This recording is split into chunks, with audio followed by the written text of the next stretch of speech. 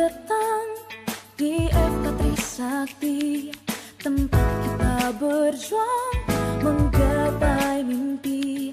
Jatuh bangun tetap berdiri kembali Kan ku kejar mimpi ini. Sivitas FK Trisakti tercinta Sahabat keluarga dan rumah kita Ciptakan karya dalam sinergi Bersama taklukkan hari. Kadang lelah ingin menyerah Sejenak istirahat tak mengapa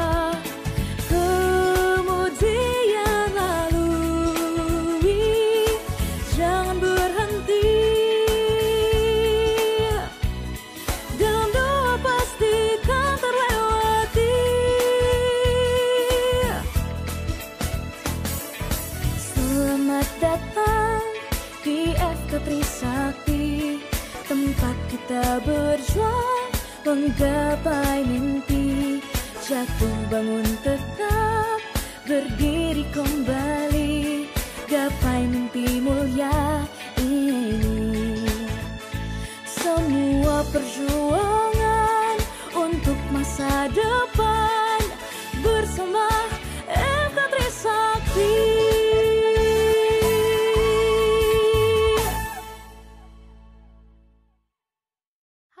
Rekan sejawat, bingung cari guideline dan jurnal kedokteran dari sumber terpercaya di mana?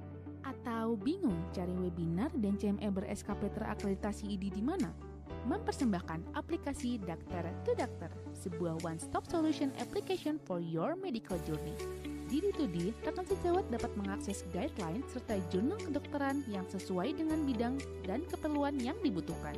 Jika belum tersedia, maka rekan sejawat dapat langsung request jurnal pada aplikasi D2D secara mudah dan gratis. Rekan sejawat juga dapat mengupdate ilmu kedokteran terkini hanya dengan menyaksikan webinar yang dilengkapi dengan akses materi dan sertifikat yang mudah didownload. Atau hanya membaca artikel CME dan mengerjakan kuisnya serta dapatkan SKP terakreditasi ID secara gratis.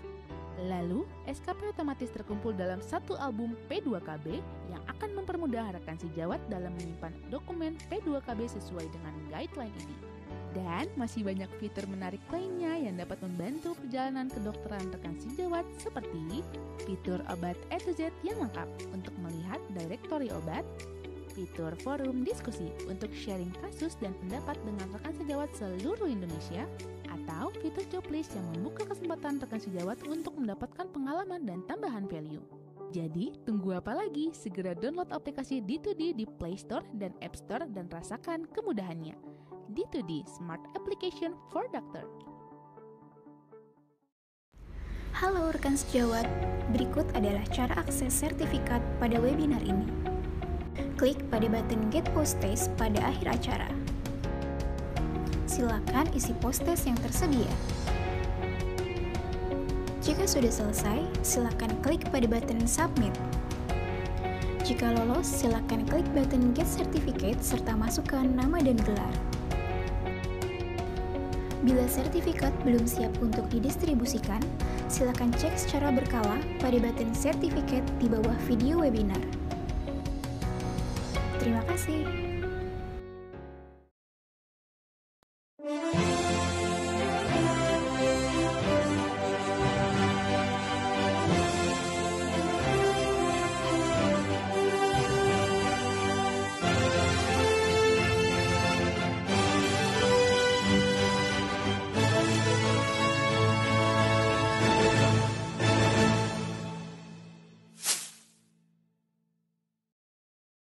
Para peserta webinar yang terhormat. Pada hari ini, selamat bergabung dengan kami pada acara webinar hari ini, yaitu dengan judul uh, The Constructive uh, Feedback ya, to Achievement the Student Achievement. Uh, menjadi dokter itu tidak pernah lepas dari edukasi.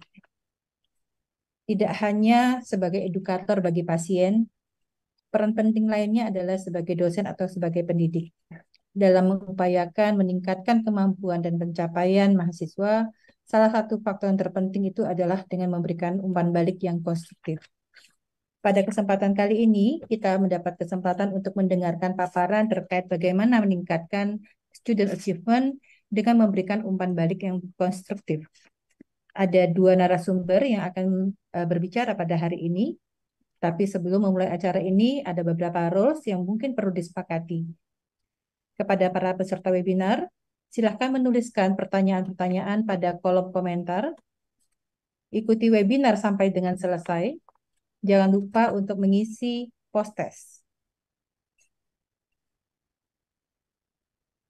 Setelah di bawah video webinar. Saat ini sertifikat mungkin masih dalam proses, untuk mendapatkan sertifikat tersebut, silahkan untuk mencek secara berkala tombol sertifikat yang sudah tersedia. Materi pada hari ini dapat diakses melalui button materi di bawah video webinar pada akhir acara. Dan untuk informasi webinar, update fitur, dan ilmu kedokteran lainnya, silakan follow Instagram D2D yaitu at d2d.id. Materi yang pertama, kita akan sampaikan sebelum materi, mohon maaf, saya akan menyampaikan dulu mengenai uh, pelembagaan etika, disiplin, dan hukum kedokteran di Indonesia. Uh, untuk etika, untuk MKID, wilayah dan beberapa cabang Dewan Etik Perhimpunan Dokter Spesialis, Kemahkamaan Pengawasan Pembinaan dan Pembuatan Fatwa Etika Kedokteran di tingkat pusat. Majelis Kehormatan Etika Rumah Sakit Indonesia terutama mengatur etika rumah sakit dan pimpinannya, serta relasi antar nakes di dalam rumah sakit. Etika juga diatur dalam Komite Etika dalam Hukum serta Subkomite Ekskomite Medik di rumah sakit. Selain etika, perlu adanya kedisiplinan. Dan kedisiplinan ini biasanya di bawah MKDKI, di bawah KKI, mengatur mengenai kewenangan, kemahkamaan, dan pembinaan. Selain itu juga ada aspek hukumnya, yaitu legalisasi hukum, DPR dan pemerintah menurut undang-undang, pemerintah hukum di bawah undang-undang, proses penegakan hukum, kepolisian, RI, jaksa, dan seterusnya.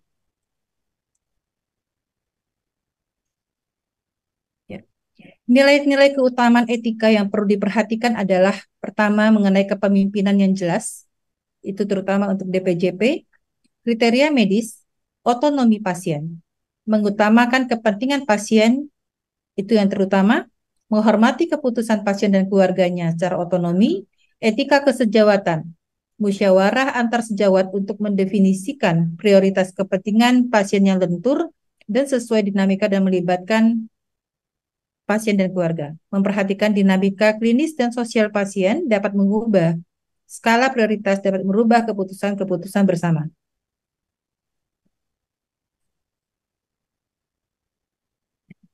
Dokter wajib berpegang pada kode key dan materi kode key ini dapat diakses pada https titik dua garis miring dua kali bit titik ly garis miring kode key id.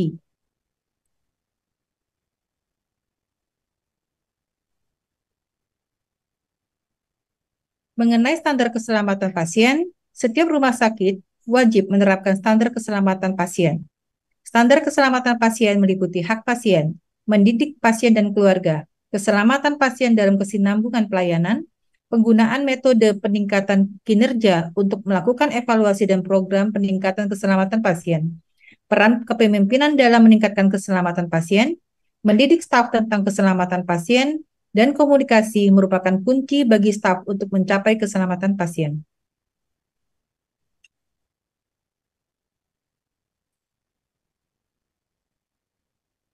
Sasaran keselamatan pasien, sasaran pertama adalah mengenai ketepatan identifikasi pasien. Sasaran kedua adalah peningkatan komunikasi yang efektif. Sasaran ketiga, peningkatan keamanan obat yang perlu diwaspadai. Sasaran keempat adalah mengenai kepastian tepat lokasi, tepat prosedur, dan tepat pasien operasi. Sasaran kelima, pengurangan risiko infeksi terkait pelayanan kesehatan. Sasaran keenam adalah pengurangan risiko pasien jatuh. Itulah mengenai aturan etika dan juga standar keselamatan pasien uh, dari ID yang bisa uh, Bapak Ibu unduh lagi di uh, Kodeki. Terima kasih. Kita akan langsung masuk kepada paparan terkait bagaimana meningkatkan student achievement dengan memberikan umpan balik yang konstruktif. Materi yang pertama akan disampaikan oleh Dr. Revalita. Saya akan membacakan dulu CV dari Dr. Revalita.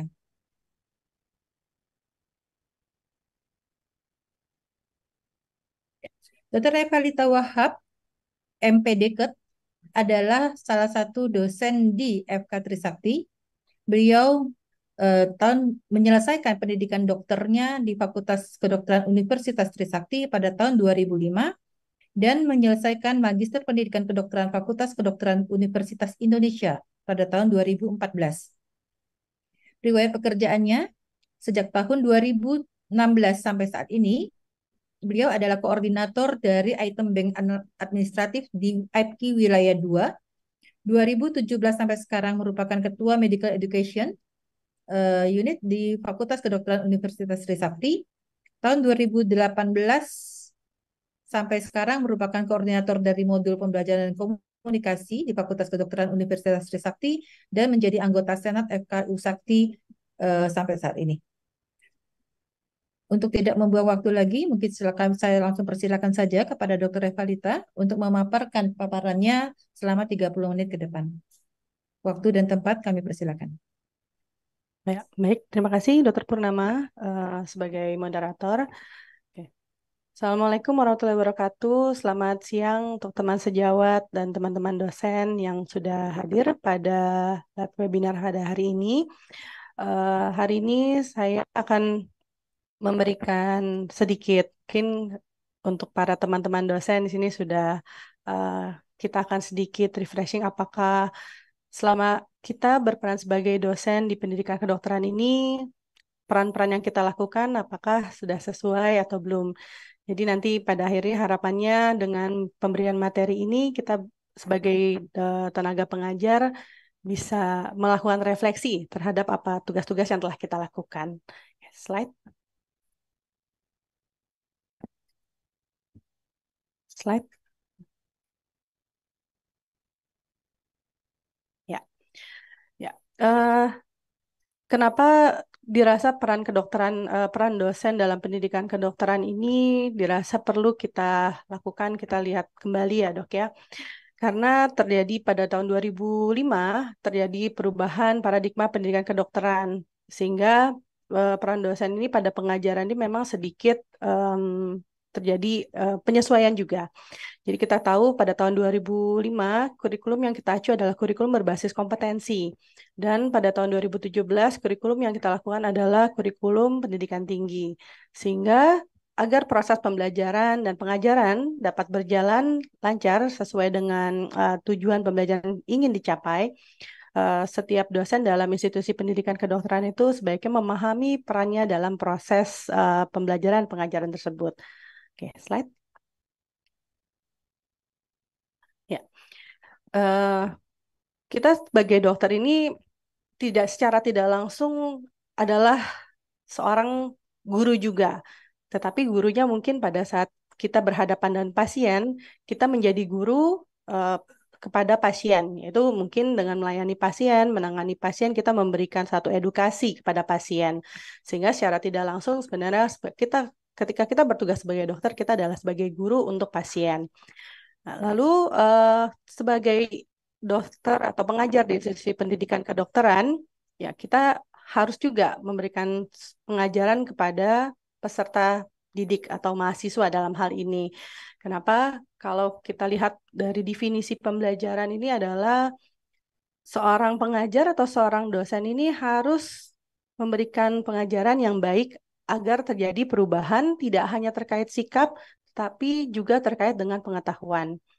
Ini saya ambil dari uh, menurut Safiro ya dok ya. Jadi kata dokter ini atau dari istilah latinnya adalah docio, yang berarti kan adalah I teach. Nah ini yang menggambarkan bahwa pentingnya tanggung jawab dokter uh, untuk mengedukasi pasiennya, ya itu adalah sebagai guru jadi dari pasiennya dan juga mengajar peserta didiknya. Sehingga uh, dilihat dari kata ini kita bisa menggambarkan bahwa penting sekali atau tanggung jawab kita sebagai uh, dosen ataupun dokter dalam suatu institusi pendidikan kedokteran. Slide. Ya. Nah, ini saya ambil dari undang undang-undang yang terkait dengan uh, seorang pendidik. Oke, jadi uh, dari Undang-Undang Nomor 14 Tahun 2005 tentang guru dan dosen, siapakah yang bisa disebut sebagai dosen ataukah apa definisinya pendidik? Uh, pendidik profesional dan ilmuwan dengan tugas utamanya adalah mentransformasikan, lalu mengembangkan dan menyebarkan ilmu pengetahuan, uh, teknologi dan seni melalui pendidikan, penelitian, dan pengabdian kepada masyarakat.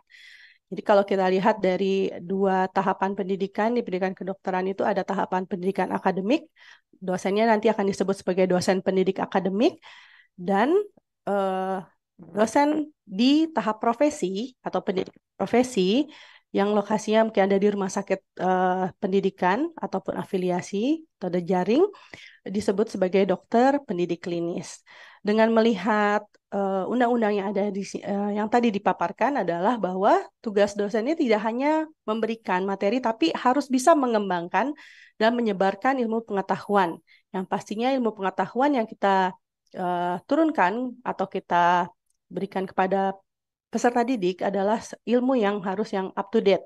Tidak hanya menyebarkan ilmu tetapi uh, sebagai dosen kita juga harus memiliki pengetahuan dan keterampilan yang selalu up to date yang mengikuti uh, teknologi dan informasi. Okay, slide. Ya. Tadi di awal sudah saya sampaikan bahwa memang terjadi perubahan uh, pendidikan, paradigma pendidikan kedokteran. Mungkin uh, untuk yang lulusan sebelum tahun 2005 bahwa kita menganutnya adalah kurikulum yang tradisional atau yang disebut sebagai strategi pembelajarannya kita sikat sebagai tithuo, yaitu pemberian informasi ini atau uh, hanya diberikan sifatnya adalah teacher center. Jadi mahasiswa hanya mendapatkan satu-satu informasi yang utama dari uh, pengajar atau gurunya. Tetapi dengan perubahan uh, pendidikan kedokteran, lalu terkait dengan strategi pembelajaran, uh, dengan metode pembelajaran yang juga berubah, uh, yang kita anut adalah sekarang sebagai spices. Di mana nanti peran dosen ini bukan berarti hilang sama sekali, tetapi akan berubah menjadi seseorang yang mendorong mahasiswanya untuk meng-courage mereka, mendorong mereka untuk melakukan pembelajaran yang aktif atau active learning, sehingga mereka mampu menentukan uh, sebagai seorang pembelajaran dewasa yang bisa mengumpulkan informasi sesuai dengan tujuan pembelajaran yang diharapkan. Jadi yang kita anut sekarang adalah yang spices ya dok ya, yaitu pembelajaran yang terpusat kepada mahasiswa, lalu kita belajar juga dengan ada problem based learning, dengan ilmu yang ter terintegrasi, uh, community based learning, dan dari awal, uh, dari mulai tahap pendidikan di akademik, mahasiswa ini sudah dikenalkan atau dipaparkan dengan keterampilan klinik. Dan Pembelajaran pun juga materi pembelajaran disusun secara sistematik, baik secara kedalamannya dan keluasan. Oke, slide. Ya, diharapkan dengan tadi perubahan uh, strategi pembelajaran yang menjadi di Spices, sebagai pengajar juga harus memahami basic educational principle. Yang pertama adalah uh, ini disingkat uh, dengan satu singkatan menjadi FAIR.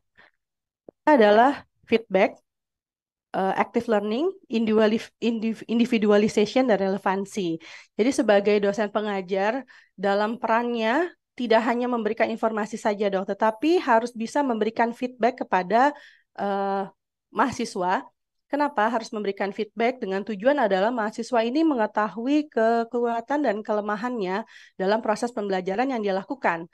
Akhirnya dengan memberikan feedback ini nanti mungkin akan materi selanjutnya uh, yang akan dipaparkan oleh Dr. Jihan dan sebagai dosen harus tahu bagaimana nanti cara memberikan feedback agar memberikan satu perubahan yang tidak terkait hanya dengan sikap tetapi juga keterampilan dan pengetahuan oleh mahasiswa. Lalu uh, pada prinsipnya seorang dosen itu juga atau pengajar ini harus mendorong mahasiswa untuk membelajar menjadi seorang pembelajaran yang aktif. Dan kita juga harus melihat bahwa sebenarnya walaupun metode pembelajaran dilakukan secara berkelompok, tetapi kita harus bisa menilai atau sebagai diagnostician bahwa mahasiswa ini uh, kemampuannya seperti apa. Sehingga dalam proses pembelajarannya kita harus bisa melihat uh, mahasiswa ini secara uh, satu persatu. Sehingga nanti feedback yang kita lakukan akan sesuai dengan uh, kondisi uh, dari peserta didik yang kita hadapi. Lalu materi yang kita berikan kepada pada peserta didik ini adalah materi yang relevan dan pastinya harus sesuai dengan tujuan pembelajaran yang ingin dicapai dan yang update. Ya, dengan harapannya dengan memahami FAIR ini uh, secara garis besar, secara umum, uh, dosen ini bisa memerankan, melaksanakan perannya dalam institusi pendidikan kedokteran dengan baik. Slide. Ya. Nah, ini uh, Harden, ini yang dosen ini awalnya dibagi menjadi 12 peran besar ya, Dok ya. Cukup banyak. Lalu dikelompokkan lagi yang sekarang yang diadot adalah yang 8 peran uh, dosen dalam pendidikan kedokteran. Jadi kalau kita lihat nanti ada information peran dosen adalah information provider, Eh, dan coach, lalu ada sebagai facilitator dan mentor, ada sebagai curriculum developer dan implementer, ada sebagai assessor and diagnostician, ada sebagai role model as a teacher and practitioner, lalu sebagai manager and leader, scholar and researcher, yang terakhir adalah profesional. Jadi kalau kita lihat ini mungkin memang bukan berurutan, tetapi dalam proses peran kita, peran dosen dalam pendidikan kedokteran ini menjadi satu kesatuan. Oke, slide. Ini akan dibahas persatu persatu. Yang pertama profesionalisme. Jadi kalau kita lihat uh, tadi ada delapan uh, secara garis besar, tetapi yang perlu kita yakinkan adalah yang pertama terkait dengan profesionalisme ini. Ini akan terkait dengan tujuan tujuh peran pengajar lainnya. Karena dengan adanya prof, sifat prof, sikap profesional sebagai seorang pengajar, diharapkan dosen ini menjadi seseorang yang bertanggung jawab. Jadi memiliki sikap yang bertanggung jawab atas peserta didik yang dilakukan, lalu nanti terkait dengan pengembangan kurikulum yang dilakukan, penilaian, eh, sehingga untuk memah untuk menjalani peran-peran lainnya dibutuhkan memang rasa tanggung jawab dan eh, ingin mendorong atau mencapai tujuan pembelajaran yang ingin dicapai. Sehingga pada saat jadi dosen kita tidak hanya menuntut mahasiswa atau peserta didik kita saja untuk mengupdate pengetahuan dan keterampilannya, tapi sebagai dosen sebagai bentuk profesionalisme uh, dan sebagai salah satu pembelajaran ciri khas untuk pembelajaran sepanjang hayat atau lifelong learner, sebagai dosen juga harus mengupdate pengetahuan dan keterampilannya. Jadi tidak kita tidak hanya menuntut mahasiswa, tetapi sebagai dosen pun atau pengajar kita juga melakukan hal yang sama. Karena itu um, peran di sini sebagai profesionalisme itu yang harus kita lakukan dan peran-peran yang lainnya kita lakukan secara harus didasari dengan rasa tanggung jawab. Oke, slide. Peran berikutnya adalah information provider. Jadi kalau misalnya kita lihat yang di sebelah kiri, dok, ini adalah peran yang tradisional. Jadi traditional teacher ini uh, pada saat dulu dosen pengajar ini hanya memberikan materi dalam bidangnya. Nah, agak sedikit berbeda dengan perubahan uh, paradigma pendidikan kedokteran tadi ya dok ya terkait dengan uh, spices. Misalnya kita juga harus menguasai materi-materi yang memang bukan kita sebagai expertnya. Contohnya di dalam diskusi tutorial atau tutorial PB. Walaupun mungkin kita uh, kan ahli ketika kita membahas satu skenario dalam tutorial PBL, walaupun kita bukan tapi kita bisa menguasai materi yang kan atau uh, masalah yang ada dalam sebagai pemicu. Lalu untuk si traditional teacher biasanya hanya melakukan presentasi oral dan menyampaikan seluruh informasi tentang subjek tertentu pada mahasiswa. Orang lecturer yang sekarang ya dengan metode pengajaran yang berbeda-beda uh, sebagai komunikator yang baik. Jadi jika sebagai komunikator yang baik untuk mendapatkan komunikasi yang efektif dengan uh, pengajar dengan antara pengajar dan mahasiswa harus ya sebentar dok. Tes. Ya. Oke. Jadi sebagai komunikator yang baik untuk menyampaikan pesan yaitu adalah informasi yang terkait dengan pembelajaran kepada uh, kepada peserta didik dosen ini bisa memberikan dengan cara uh, atau multimedia yang interaktif. Dengan multimedia interaktif yang uh, dengan mengikuti perkembangan teknologi dan informasi, lebih lagi mungkin pada saat ini ya dok ya uh, mahasiswa yang kita hadapi adalah mahasiswa yang mungkin generasi Z yang secara teknologi dan informasi itu di depan si lebih terdepan dibandingkan seorang pengajarnya. Karena itu kita harus bisa beradaptasi dengan memberikan informasi dengan multimedia yang memang interaktif sesuai yang uh, perkembangan teknologi. Boleh slide berikutnya? Ya. Nah, ini adalah sebagai information provider. Jadi, ketika seorang peran uh, seorang pengajar ini terkait dengan information information provider, penyedia informasi harus bisa mengkondet atau for information trans uh, memikirkan bagaimana cara untuk menyampaikan informasi kepada uh, peserta didiknya. Lalu seorang pengajar ini harus juga melakukan filter ya dok, pemilah-pilih bagaimana informasi itu akan di, di akan diberikan dan bagaimana nanti informasi itu bisa dapat diakses gitu untuk uh, kepada uh, peserta didik dapat mengakses informasi yang kita berikan agar mereka menjadi, uh, mencari lebih lanjut tentang informasi yang kita berikan. Lalu uh, terkait dengan information uh, provider, peran dosen pengajar ini memberi sebagai information coach. Jadi akan memimpin atau mengguiding mahasiswa untuk menanyakan hal-hal yang penting, lalu memberikan informasi juga terkait uh, sumber pembelajaran, sumber informasi, dan mengguiding mahasiswa juga untuk mengevaluasi informasi yang mereka dapatkan dari seorang pengajar terkait juga dengan materi pembelajaran yang mereka uh, yang kita berikan. Slide. Ya. Kalau uh, information provider di dalam clinical atau practical teacher, jadi peran dosen ini karena nanti akan bersinggung atau berhadapan dengan situasi klinisnya nyata. Jadi peran dosen tadi terkait dengan Anda memilih, menyusun, dan informasi uh, terkait dengan uh, setting klinik, jadi dosen harus bisa sebagai kurator tadi ya dok ya, menyampaikan informasi yang sesuai dengan uh, kasus yang dihadapinya. Lalu mendorong mahasiswa jika terkait dengan informasi, kalau bagaimana mereka mungkin belum mendapatkan informasi yang terkait dengan materi pembelajaran, menjadikan mahasiswa ini adalah seorang yang sebagai uh, pembelajaran reflektif. Dan dengan informasi yang diberikan oleh seorang pengajar terkait dengan materinya, dalam hal ini adalah setting klinik akan membantu mahasiswa dalam melakukan uh, pengambilan keputusan uh, pada keputusan klinis sesuai dengan kasus yang mereka hadapi.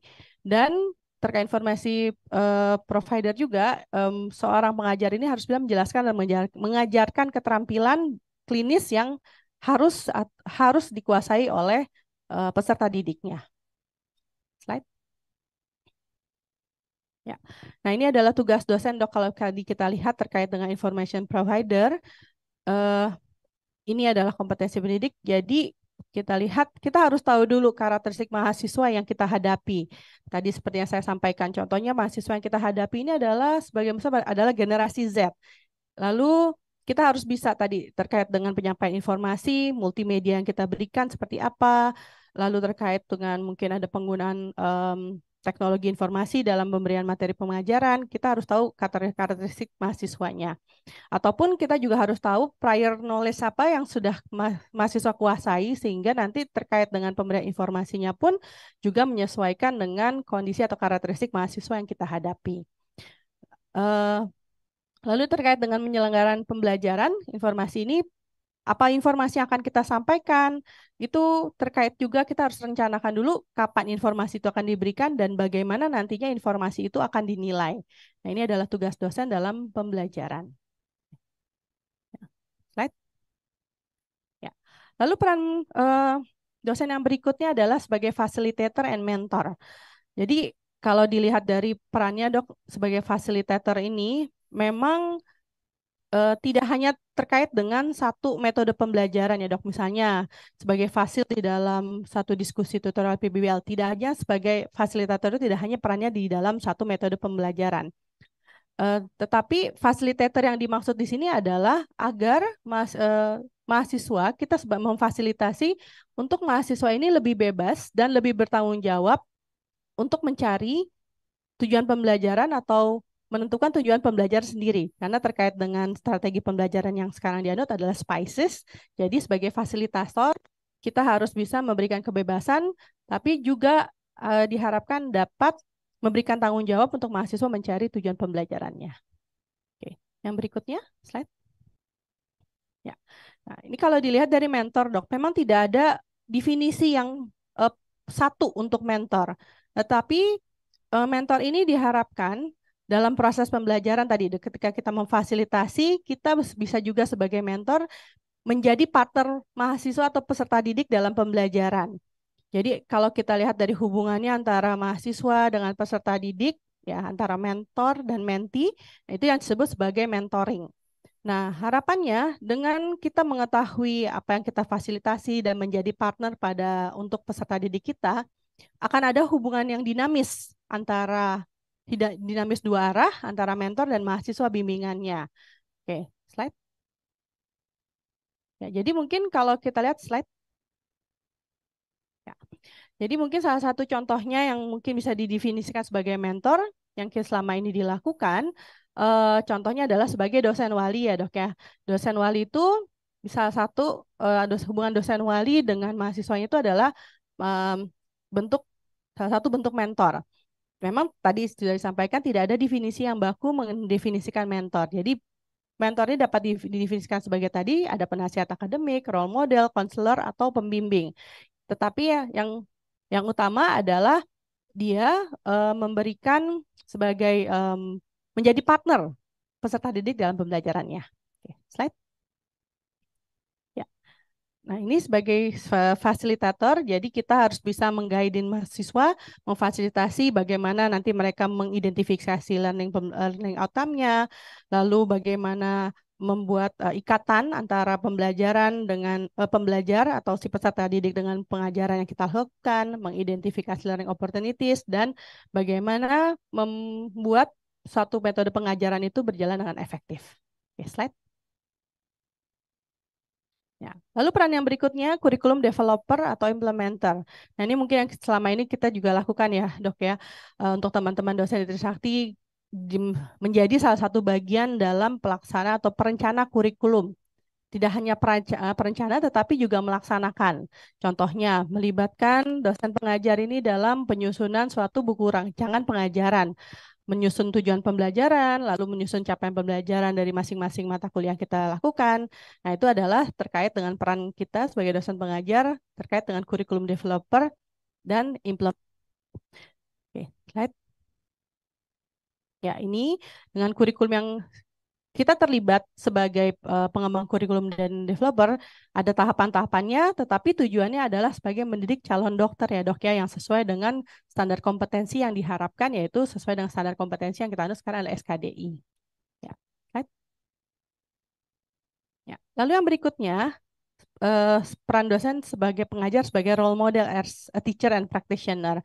Jadi tadi harapannya pada proses pembelajaran, akan terjadi perubahan tidak hanya terkait sikap, tidak hanya terkait pengetahuan dan keterampilan pada mahasiswa, tetapi sebagai pengajar kita juga harus menjadi role model yang baik gitu ya dok ya untuk mahasiswa. Kenapa? Karena tadi mahasiswa akan melihat kita, melihat dosennya, melihat pengajarnya, baik di secara pengetahuan dan keterampilan, sikapnya. Nah itu yang akan mereka eh, jadikan contoh jadi kalau kita bisa memberikan contoh yang baik terkait sikap, pengetahuan dan keterampilan, harapannya mahasiswa akan melihat dan akan mendorong mereka untuk melakukan keterampilan-keterampilan atau standar kompetensi yang harus mereka capai.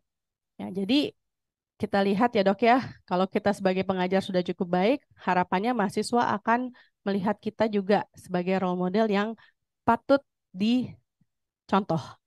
Slide.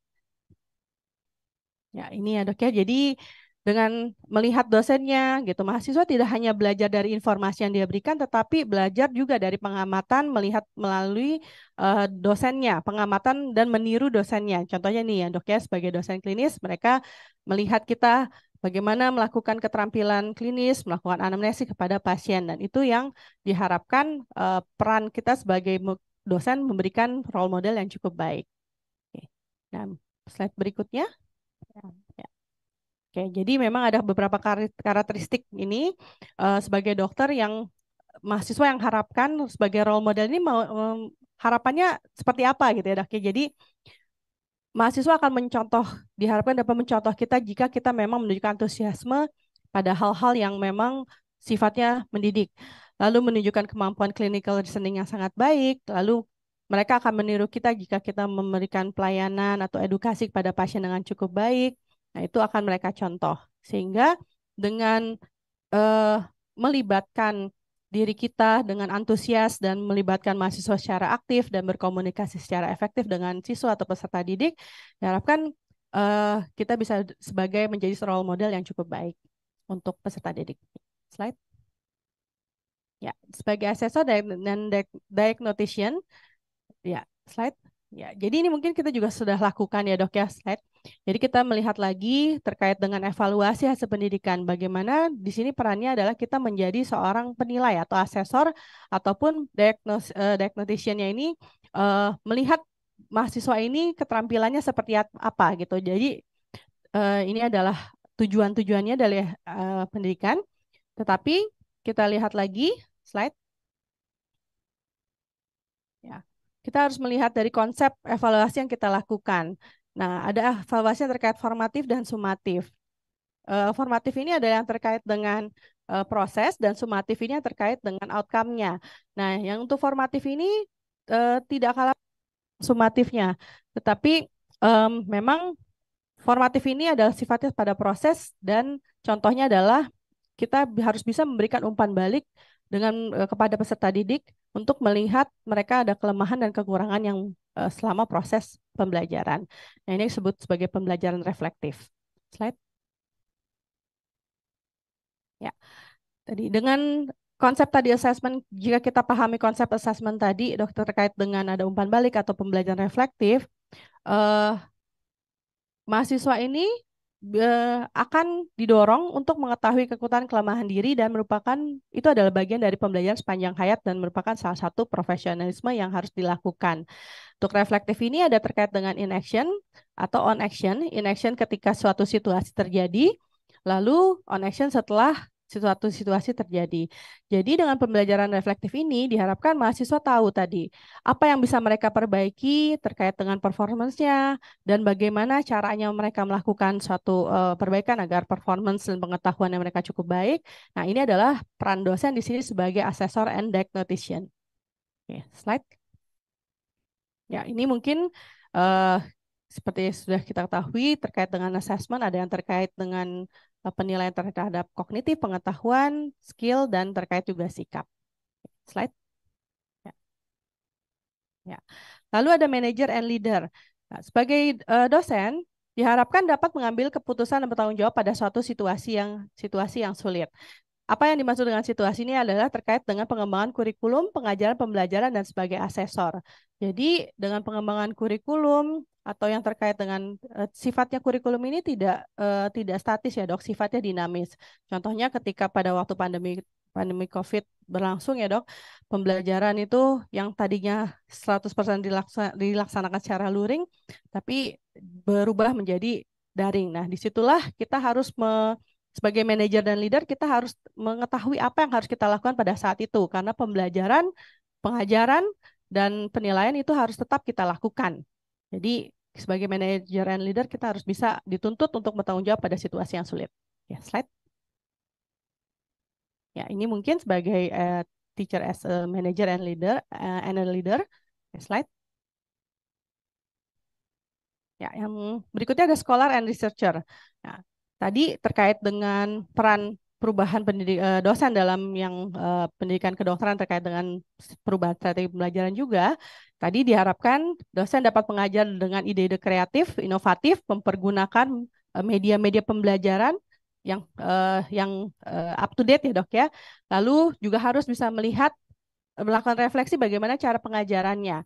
Lalu dalam pengajarannya seorang dosen harus melakukan evaluasi dan menyesuaikan dengan tadi pengembangan uh, perkembangan teknologi dan informasi karena tadi tidak hanya kita tuntut mahasiswa untuk melakukan pembelajaran sepanjang, tapi kita sebagai pengajar pun juga harus melakukan hal yang sama. Slide. Ya, jadi kesimpulannya, kita tanya, kita lakukan refleksi diri pada uh, sebagai seorang yang apakah kita sudah menjadi excellent teacher untuk peserta didik kita. Jadi dengan ada tiga ini menurut Harden kita memiliki ada technical abilities, jadi melakukan hal yang uh, benar, lalu ada approach to teaching, apakah kita sudah melakukan uh, tindakan yang benar, apakah kita juga adalah seorang dosen yang tepat untuk melakukan pengajaran yang kita lakukan.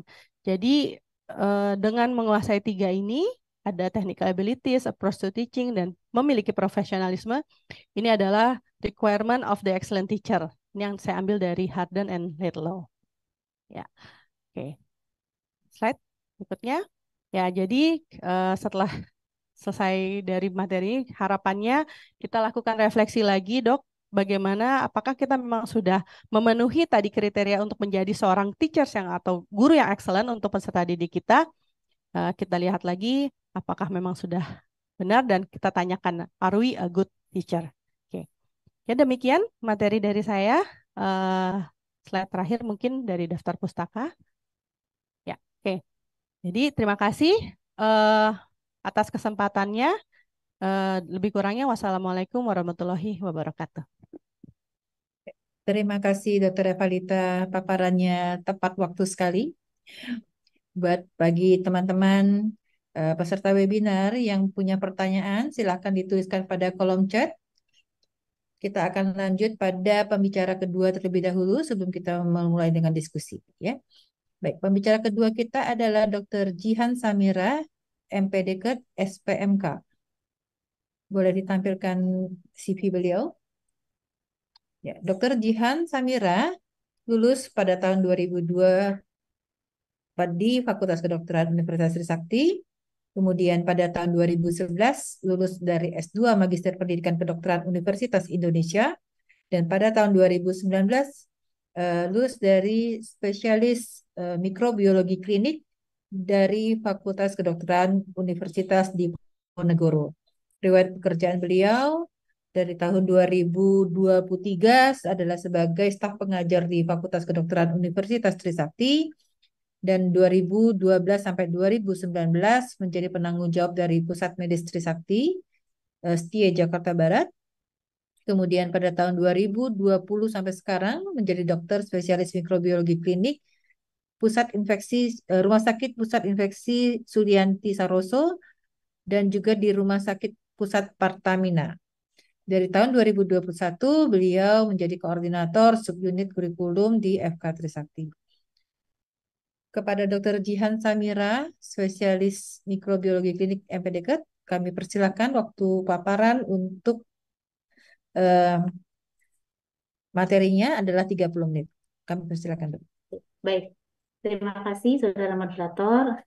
Eh, Assalamualaikum warahmatullahi wabarakatuh. Selamat siang. Pertama-tama saya mengucapkan terima kasih kepada panitia yang telah mengundang saya untuk bisa menyampaikan materi pada siang hari ini. Dan yang saya hormati teman-teman dosen, serta dokter, dan juga seluruh peserta webinar yang telah hadir pada siang hari ini. Izinkan saya pada siang hari ini untuk bisa menyampaikan salah satu topik dari pendidikan kedokteran yaitu tentang memberikan umpan balik. Eh, sebelum saya menyampaikan dari topik eh, materi tentang umpan balik, mungkin ada di antara kita yang bertanya, mengapa kok ada umpan balik di dalam pendidikan? Untuk itu, saya akan mencoba menjawab mengapa ada umpan balik di dalam pendidikan kedokteran. Istilah umpan balik sebenarnya dikenal dalam elektronika. Kemudian ini menjadi suatu konsep di dalam, di cybernetik. Di dalam cybernetik, umpan balik ini diasosiasikan sebagai uh, sistem kendali diri atau self-regulatory system. Dari sanalah kemudian konsep tersebut disaring di dalam uh, teori pembelajaran, yaitu teori pembelajaran konstruktivis dan juga teori pembelajaran uh, kognitif uh, di dalam teori pembelajaran behaviorism, umpan balik ini merupakan suatu cara untuk memperkuat atau mengubah suatu perilaku. Sedangkan di dalam teori kognitif, bahwa umpan balik ini sebenarnya merupakan suatu bentuk untuk merekonstruksi pengetahuan dari peserta didik kita, kemudian juga meningkatkan performa dan kemudian motivasi untuk belajar. Jadi mungkin itulah barangkali jawabannya mengapa ada umpan balik di dalam eh, sistem pendidikan kita. Kemudian yang kedua adalah tentu juga akan menjadi pertanyaan, mengapa kok topik ini yang kita angkat?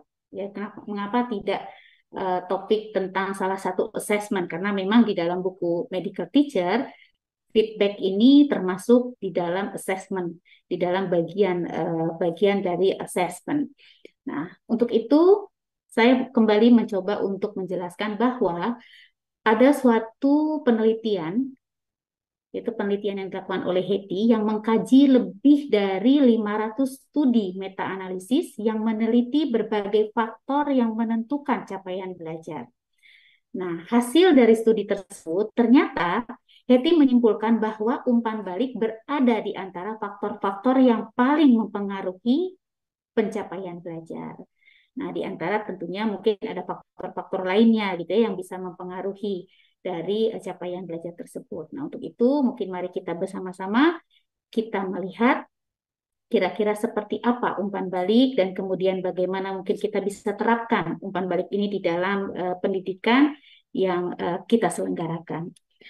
Di dalam presentasi ini, nah ini uh, materi ini saya ambil dari uh, Medical Teacher. Ini buku Medical Teacher ini adalah merupakan suatu buku practical guide ya bagi seorang uh, dosen yang menjadi dosen di pendidikan kedokteran.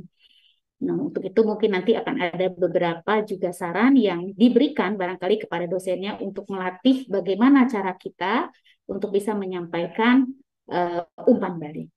Nah, dalam presentasi ini ada 10 hal yang mungkin akan saya sampaikan. Yang pertama tentunya akan ada pendahuluan, kemudian definisi dari umpan balik itu sendiri, kemudian umpan balik yang uh, termasuk dalam kategori sebagai formatif dan juga evaluasi di dalam evaluasi sumatif, kemudian maksud dan dari sesi umpan balik tersebut, dan kemudian pentingnya uh, umpan balik tersebut di dalam dunia pendidikan. Hal lain lagi yang akan saya sampaikan adalah mengenai hambatan, kemudian prinsip umpan balik yang efektif, Kemudian template-nya kira-kira seperti apa saja yang harusnya ada di dalam umpan balik tersebut, apakah ada pendekatan lain gitu ya dalam uh, memberikan umpan balik tersebut? Dan kemudian bagaimana kita melatih dosen untuk bisa memberikan umpan balik? Karena dari saya sampaikan di awal bahwa apa yang saya sampaikan ini memang mengambil dari buku medical teacher yang bukan hanya menjelaskan bagaimana cara kita untuk bisa memberikan umpan balik tapi juga untuk uh, yang juga memberikan informasi tentang bagaimana cara kita untuk bisa mempersiapkan dosen yang akan bisa memberikan umpan balik. Sebagai pendahuluan, umpan balik merupakan suatu komponen penting dalam proses belajar dan mengajar. Umpan balik yang konstruktif dari seorang pendidik akan memberi peserta didik wawasan tentang tindakannya serta konsekuensinya. Umpan balik juga memungkinkan peserta didik dan pendidik untuk berhasil mencapai tujuan pribadi dari suatu tujuan ataupun pembelajaran. Kemudian, apa itu umpan balik? Umpan balik merupakan suatu proses diskusi dua arah yang berkelanjutan dan secara kontekstual berada dalam lingkungan yang nyaman dan aman untuk memeriksa dan memahami barangkali kinerja masa lalu agar dapat merencanakan perbaikannya ke depan. Nah, itu mungkin uh, paparan uh, penjelasan kedua tentang apa itu umpan balik. Kemudian umpan balik yang termasuk dalam uh, sebagai suatu masukan dan bisa juga sebagai suatu evaluasi. Karena tentunya ada timing, ada waktu-waktu tertentu di mana kita bisa memberikan uh, umpan balik tersebut. Sebagai masukan, tentunya ini akan menjadi suatu formatif karena dia berada in action tadi kalau mungkin dokter Revalita juga sudah menyebutkan artinya berada di suatu pengalaman gitu ya di dalam uh, proses pembelajaran tersebut. Kemudian uh, sifatnya penyesuaian di tengah jalan. Kemudian dia bisa deskriptif dan netral, kemudian berorientasi pada tugas, tentunya harus ada tugas yang bisa di observasi dan kemudian bisa disampaikan oleh peserta didik tersebut dan bisa sering kita berikan ataupun kita tentukan barangkali waktunya kapan ini waktu kita untuk bisa memberikan masukan kepada peserta didik kita dan, dan kemudian sebaiknya diberikan sesegera mungkin. Kemudian sebagai suatu evaluasi, karena ini adalah on action, ya artinya ada sebagai akhir di akhir dari suatu pengalaman tersebut, ini tentunya akan diberikan di akhir dari uh, suatu kursus atau pembelajaran. Kemudian ini tentunya akan menjadi suatu keputusan tentang kinerja dan kemudian uh, harusnya mengikuti umpan balik formatif dan juga ada tindakan korektif, ada tindakan perbaikan untuk ke depannya. Dan kemudian Uh, biasanya kalau yang uh, kategorinya evaluasi ini sering diberikan sebagai nilai uh, nilai dari mahasiswa tersebut atau pelajar tersebut. Kemudian yang berikutnya adalah tujuan dari sesi umpan balik. Nah, ini mungkin kita bisa melihat ada beberapa waktu yang kita ber, ya, yang kita bisa berikan kalau kita singkat dan sedang berlangsung, ya artinya ini adanya di in action, mungkin kita uh, waktunya itu sekitar 5 sampai dengan 10 menit. Kemudian ini bisa sering kita lakukan, ya mungkin dalam aktivitas kerja kita yang rutin. Uh, ini ada beberapa contoh kata-kata barangkali ya yang bisa disampaikan. Saya ingin memberikan kemudian diberikan beberapa petunjuk tentang cara lain untuk memeriksa, misalnya contoh bagaimana cara memeriksa limpa, gitu ya, memeriksa HEPA dan lain sebagainya. Kemudian jika ini berada di tengah jalan atau proses pembelajaran, tentunya ini akan menjadi sesuatu yang dijadwalkan sebelumnya. Waktunya mungkin akan lebih lama, sekitar 10 sampai dengan 30 menit. Kemudian adanya observasi oleh pendidik selama periode waktu tertentu dan kemudian juga memungkinkan pentingnya sebelum uh, perhitungan dari sumatif karena kalau sudah diambil nilai tentunya ini akan menjadi suatu nilai akhir bagi mahasiswa tersebut. Nah, kemudian kalau di akhir dari suatu pembelajaran tentunya ini sudah menjadi suatu penilaian sumatif ya harus disertai juga sebaiknya harus disertai dengan umpan balik kemudian ada refleksi dan pendampingan untuk membantu meningkatkan hasil bagi peserta didik kita. Kemudian mengapa umpan balik itu penting? Nah, ini ada salah satu yang disampaikan oleh uh, Erikson. Erikson menyampaikan bahwa umpan balik adalah komponen penting dalam konsep penyampaian hasil. Kemudian dia juga membuat semacam uh, framework ya. Jadi umpan balik yang dapat mengarahkan kepada perubahan hasil itu jika adanya tugas atau tujuannya yang jelas. Jadi kita harus memberikan uh, tugas atau task ya dan kemudian tujuan yang jelas. Kemudian kita berikan umpan balik yang terperinci dan segera terhadap hasil yang dicapai Kemudian juga peluang untuk meningkat eh, dengan melakukan tugas yang sama atau serupa berulang kali. Jadi kita juga akan bisa melihat eh, apa ada perubahannya jika memang hasil umpan balik yang kita berikan tersebut kemudian juga kita kita berikan tugas yang sama dan ada perubahan. Kemudian yang berikutnya adalah mengapa umpan balik penting. Ini dilihat dari tiga peranan penting, yaitu dari peserta didik, kemudian dari pendidiknya atau dari dosen atau guru, kemudian dari program ataupun dari suatu modul pembelajaran. Yang pertama mungkin kita akan melihat dari peserta didik. Dari peserta didik, umpan balik ini sangat penting karena kita mengharapkan dia juga harus akan bisa mencapai tujuan yang memang telah ditentukan. Kemudian akan memperkuat kinerja yang baik. Kemudian akan memberikan dasar untuk memperbaiki kesalahannya kalau memang dia eh, ada hal yang memang tidak yang ia tidak yang ia lakukan mungkin tidak sesuai. Kemudian berfungsi sebagai suatu titik awal barangkali ya eh, untuk dia penilaian sumatif. Jadi ini sebagai modal dia untuk nanti mempersiapkan ketika pada saat akhir kita akan mengambil dia sebagai uh, nilai akhir ataupun nilai sumatif. Kemudian untuk uh, bagi uh, penting bagi peserta didik juga ada dua jenis umpan balik. Umpan balik dapat uh, menjadi sesuatu yang negatif dan juga dapat menjadi sesuatu yang positif. Tentunya kita mengharapkan bahwa umpan balik yang kita berikan ini adalah umpan balik yang merupakan uh, umpan balik yang positif. Umpan balik dikatakan negatif jika memang itu adalah merupakan suatu penghinaan publik, adanya komentar barangkali tentang kepribadian, kemudian diskusinya pun juga hanya satu arah, kita tidak meminta uh, mahasiswa untuk bisa merefleksikan barangkali apa yang dia rasakan dan kemudian apa yang mungkin dia perlu uh, sendiri untuk diperbaiki di kemudian hari. Kemudian kurangnya minat pada pelajar, umpan balik yang terlalu umum, ini yang tidak spesifik, ini juga yang tidak dianjurkan barangkali karena umpan balik itu sebaiknya adalah harus yang spesifik dan jelas sehingga peserta didik akan tahu di mana kesalahan yang telah ia lakukan. Kemudian juga tidak terlalu singkat dan juga tidak terlalu panjang. Umpan balik yang positif itu tentunya adalah dengan proses adanya suatu mendengarkan secara aktif, kemudian ada saling menghormati, ya, kemudian adanya suatu pujian ataupun sesuatu hal yang mungkin sebagai suatu bukan kritik yang artinya sifatnya ada self atau penghinaan barangkali ya, tetapi suatu kritik yang sifatnya adalah korektif. Korektif adalah untuk perbaikan ke depannya. Kemudian keinginan untuk membantu dan juga Eh, kita menyiapkan suatu waktu barangkali yang khusus barangkali ya yang bisa memang disiapkan oleh kita sebagai peserta didik untuk bisa memberikan umpan balik tersebut dengan baik. Kemudian umpan balik dari sisi pendidik atau guru. Ini adalah komponen penting dari peran seorang guru, di mana umpan balik ini menghubungkan pengajaran dan penilaian dari kinerja pelajar.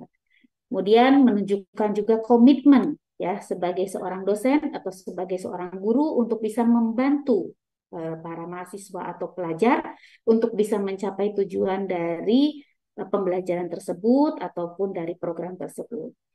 Kemudian kebanyakan barangkali mungkin dari dosen ini ataupun guru yang menyadari pentingnya umpan balik tetapi mungkin merasa sulit untuk bisa melakukannya. Nah, kemudian yang berikutnya adalah ini menurut buku dari medical teacher ternyata ketika mereka eh, apa namanya ketika mereka ketika para guru itu ditanyai ya diminta sarannya untuk kegiatan pelatihan eh, yang berguna gitu sebagian besar dari mereka itu mengatakan bahwa mereka ingin mendapatkan bantuan untuk bisa memberikan umpan balik untuk itu mungkin nanti di saya saya yang terakhir itu bagaimana caranya kita untuk bisa mempersiapkan untuk menyusun barangkali suatu program khusus untuk uh, melatih para dosen untuk bisa memberikan suatu umpan balik yang baik. Kemudian dari sisi program, dari sisi program ataupun dari sisi pembelajarannya tentunya ini sebagai uh, sebaiknya ini sebagai suatu bagian rutin dari pengalaman pembelajaran yang akan meningkatkan keahlian dan ini juga akan menjadi suatu budaya lingkungan untuk bisa menerima, kemudian mendorong umpan balik agar mendukung perbaikan positif dalam pendidikan ataupun dalam program pelatihan. Nah, umpan balik ini juga dianggap penting, ya, dianggap penting ini di Amerika Serikat di Kanada, eh, badan yang bertanggung jawab atas akreditasi sekolah eh, kedokteran, dia menetapkan standar untuk struktur dan fungsi sekolah. Jadi dari eh, eh, Badan Akreditasi mengatakan bahwa setiap siswa dalam program pendidikan kedokteran harus dinilai dan diberikan umpan balik formal cukup sejak awal selama setiap kursus ataupun kepanitraan yang diperlukan. Jadi ini memang harus disediakan waktunya. Ini standarnya adalah dari standar eh, LCMA ya eh, tahun 2011. Kemudian dari di Inggris General Medical uh, General Medical Council dia juga menetapkan bahwa memainkan peranan penting umpan balik ini dalam menentukan standar pendidikan di mana siswa harus menerima informasi tentang perkembangan dan kemajuan mereka. Hal ini tentunya akan mencakup umpan balik pada penilaian baik formatif dan juga sumatif. Kemudian kesulitan barangkali yang mungkin akan kita temui dalam hal pemberian ada beberapa hal gitu ya di dalam buku medical teacher tersebut e, dinyatakan bahwa terkait dengan waktu dan tempat.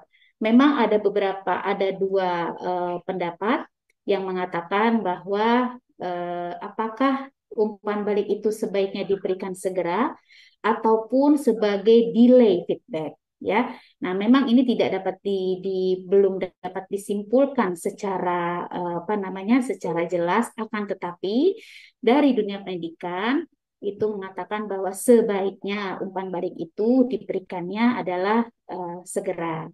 Nah, sebagai bentuk delay feedback, artinya jika jika akan kita berikan pada akhir, sebenarnya dia juga mengatakan yang akan memungkinkan siswa kita untuk bisa meretensi pengetahuannya atau merekonstruksi pengetahuannya mereka gitu ya kalau kita memberikannya itu adalah delay tidak secara langsung.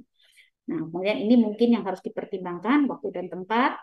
Kemudian ada faktor afektif. Afektif ini kaitannya adalah bagaimana hubungan barangkali ya Eh, kita dengan uh, mahasiswa kita. Nah, ini juga yang harus diperhatikan. Jangan sampai nanti umpan balik yang kita berikan itu sebagai bagian dari umpan balik yang negatif, yang itu yang kita tidak harapkan. Jadi bukan berarti tidak boleh dikritik, tetapi umpan balik itu haruslah berorientasi pada tugas dan kemudian juga bersifat uh, korektif untuk perbaikan. Kemudian mungkin juga karena sifatnya adalah knowledge base kemudian persepsi berbeda tentang umpan balik, kemudian skillnya, kemampuannya barangkali untuk bisa melakukan umpan balik dan juga uh, budaya lingkungan barangkali ya yang mungkin harus kita biasakan untuk bisa memberikan umpan balik ini kepada peserta didik kita sehingga mahasiswa tentunya tidak akan merasa bahwa uh, apa namanya uh, kok ini seperti uh, masukan ini sebagai sesuatu hal yang penghinaan misalnya seperti itu. Nah, itu kalau memang kita rutin kita berikan, kemudian kita tahu gitu ya dan berorientasi pada tugas, saya rasa mungkin hal-hal itu semua akan bisa kita hindarkan. Kemudian yang berikutnya adalah Nah, ini dari ND tahun eh, 1983 dia juga mengatakan bahwa tanpa umpan balik kesalahan tidak akan diperbaiki, kinerja yang baik juga tidak akan diperkuat dan kompetensi klinis dicapai secara empirik atau tidak dapat dicapai gitu ya. Kemudian perasaan tidak jelas dalam lingkungan yang asing semakin kuat dan pelajar mungkin menghasilkan umpan balik mereka sendiri dengan memberikan kepentingan yang tidak tepat pada isyarat internal dan juga eksternal. Jadi dia beliau juga mengatakan bahwa pentingnya sebenarnya atau perlunya kita memberikan umpan uh, umpan balik di dalam uh, proses pendidikan yang sedang berlangsung.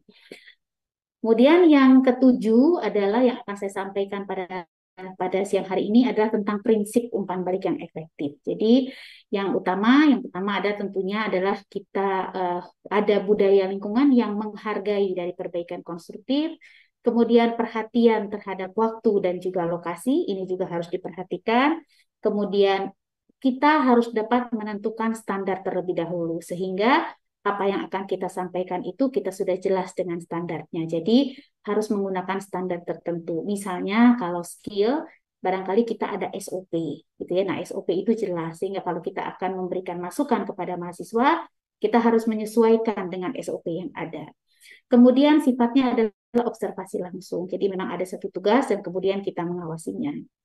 Kemudian penggunaan strategi komunikasi yang positif kesadaran terhadap proses yang berlangsung, kemudian mendorong adanya suatu refleksi pada dari mahasiswa tersebut, kemudian memberikan umpan balik yang positif, tentunya itu yang kita harapkan, dan kemudian berfokus pada keputusan dan juga ada tindakan. Jadi bukan hanya sekedar kita menyampaikan, tetapi juga kita harus bisa menentukan barangkali kira-kira tindakan perbaikan ke depan itu harus seperti apa.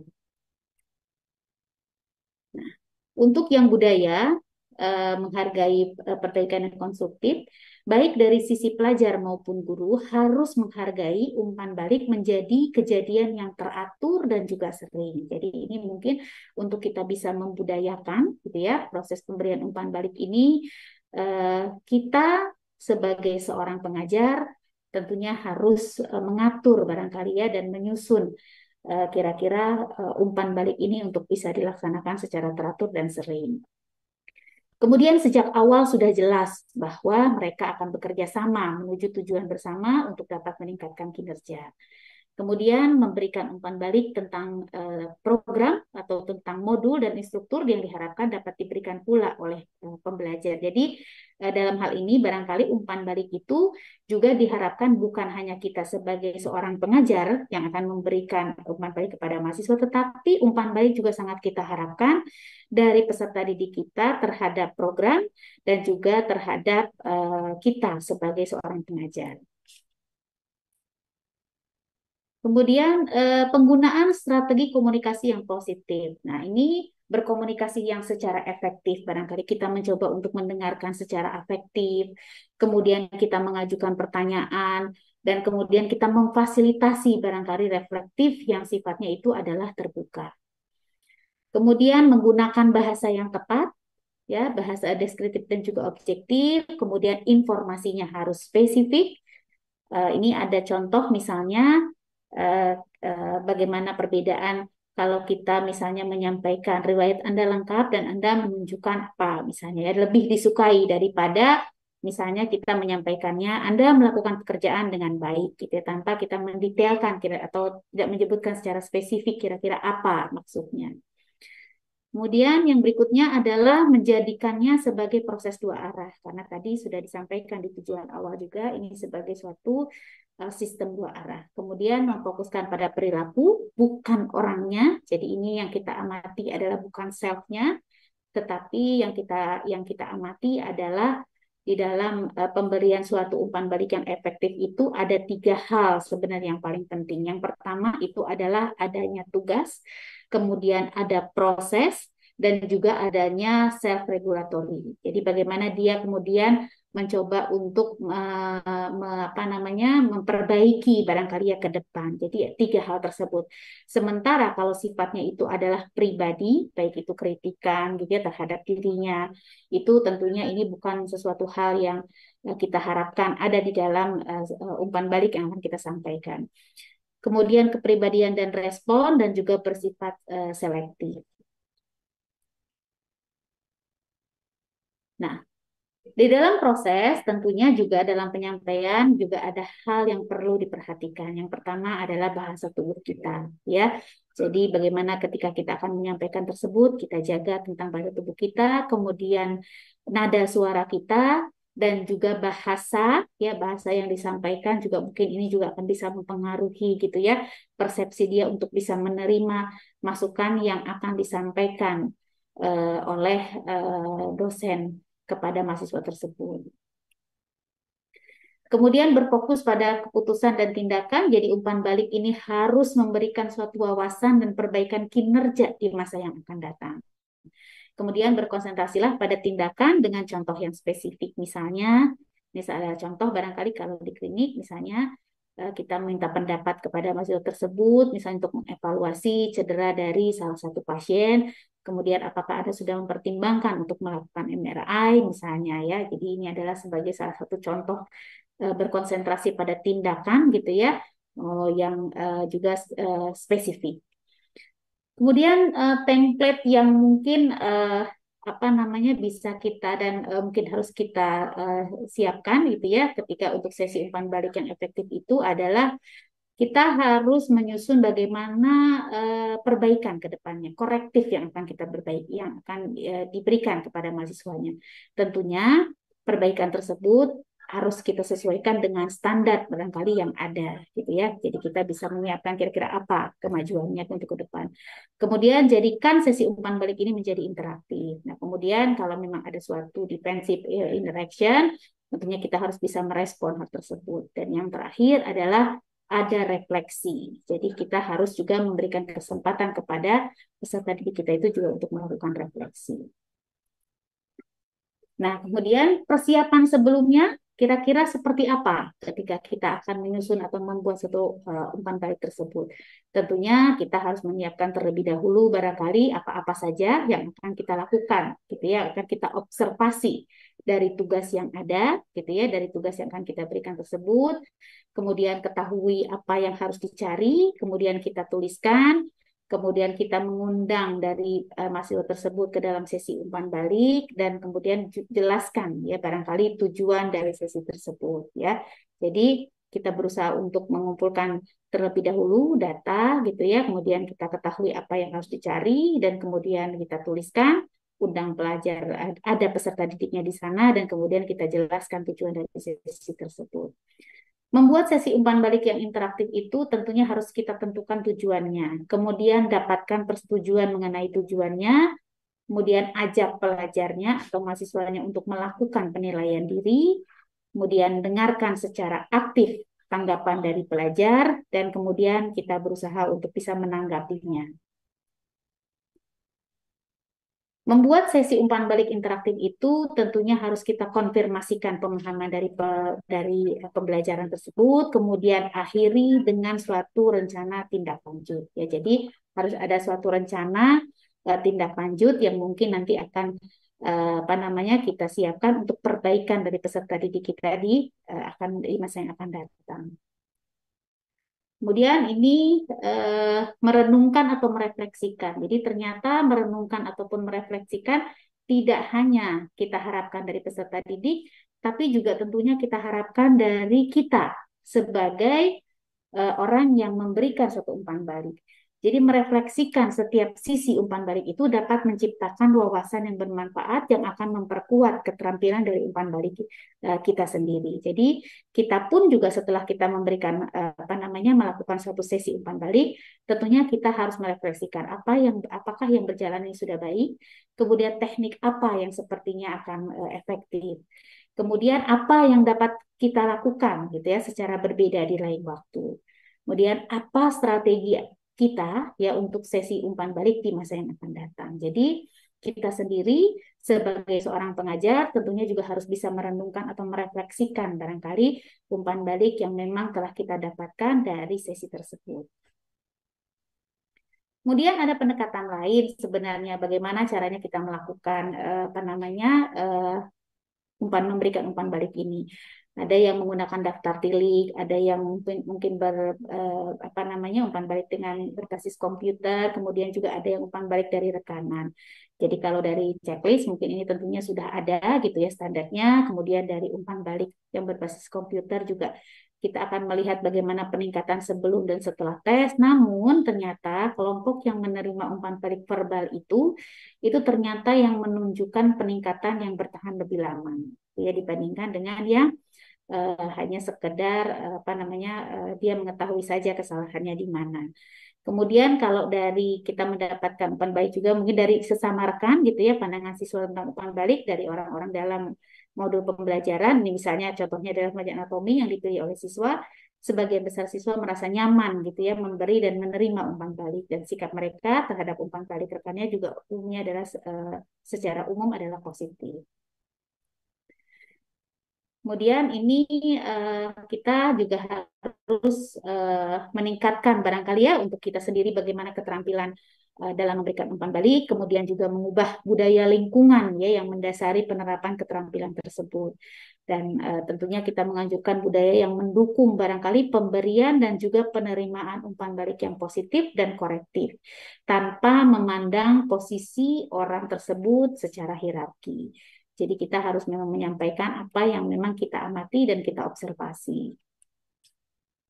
Kemudian ini dalam melatih uh, fakultas ya memberikan umpan balik. Jadi ini adalah eh, hal-hal uh, yang berkaitan dengan bagaimana kalau kita dari fakultas kita akan memberikan suatu umpan balik.